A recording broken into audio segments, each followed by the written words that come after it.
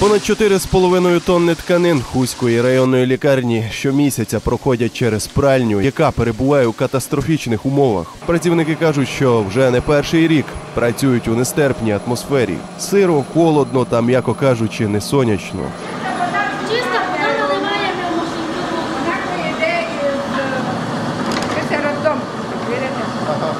Йде на сушку на, вулиці, Да. так? Да.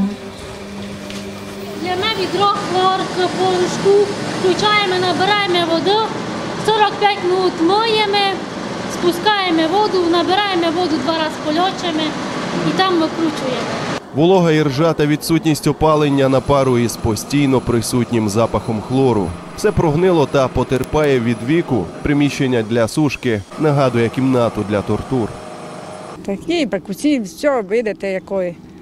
Воду носимо в малі машинки, бо води не хватить їм, не носимо та не взагалі не миють. Все треба міняти, бо ви не видите, велика машинка взагалі, то та, що ми без неї ніч, бо операцію та роддом треба полякати, а ми без неї ніч. Холодно вам там да. працювати. Да. Скільки вас загалом працює? Четверо.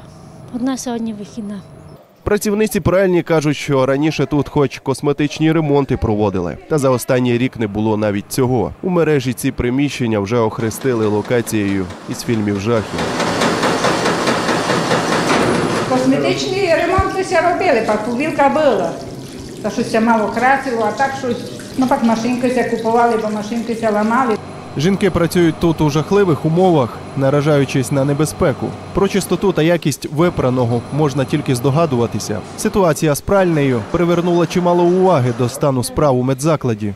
Адже ставить під сумнів, про це висловлюються користувачі соцмереж та тамтешні жителі, компетенцію керівництва районної лікарні, яке до сьогодні закриває очі на жалюгідний стан не тільки пральні, а й інших відділень.